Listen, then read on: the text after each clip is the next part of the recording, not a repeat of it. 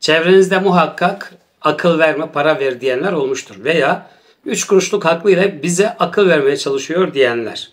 Oysa istişare kültürü önemli. Mümkünse çevrenizdeki insanlar akıl veriyorlarsa bunları dinleyin. Fikirlere açık olun. İnsanların size söyleyeceklerine kulak kabartın.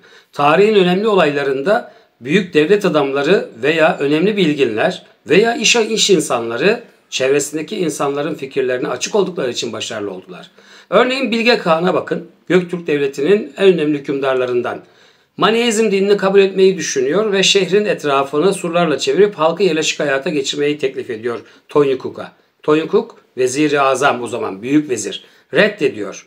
İki görüş arasındaki bu çatışma kurultaya taşınıyor ve kurultay da istişare kültürüyle Tonyukuk'un fikri kabul ediliyor. Yani Bilge Kağan şunu söylemiyor. Ben dedim oldu. Ben söyleyeceğim olacak. Tek adamlık yapmıyor.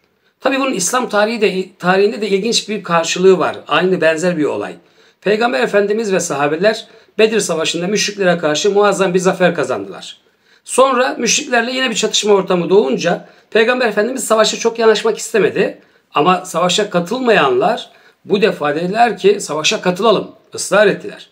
Buna rağmen Peygamberimiz ben peygamberim benim dediğim olacak demedi ve savaşa katılındı. Uhud Savaşı.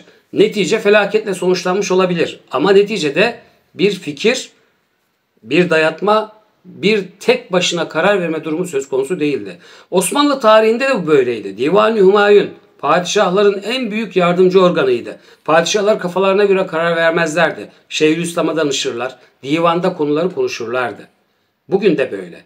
Yani hep tarihteki o büyük olayları değil, günlük yaşamımızda da alacağımız kararlar noktasında da çevremizde insanların fikirlerini önemseyelim, dinleyelim. Onlardan alacağımız belki orijinal bir fikir işimizi kolaylaştıracaktır. Tabii bunu yaparken her fikri de kendimize rehber edinmeyelim.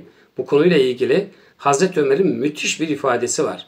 Diyor ki Hazreti Ömer, işinizi istişare edin ama işinizi Allah'tan korkanlarla istişare edin diyor.